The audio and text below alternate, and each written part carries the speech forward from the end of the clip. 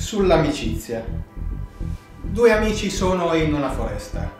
A un certo punto vedono in lontananza una tigre che sta per arrivare, allora uno dei due incomincia a mettersi velocemente le scarpe da ginnastica e l'altro gli dice ma non penserai mica di correre più veloce di una tigre solo perché ti metti delle scarpe da ginnastica? Oh no, caro mio, mi basta di poter riuscire a correre più veloce di te. L'amicizia, eh?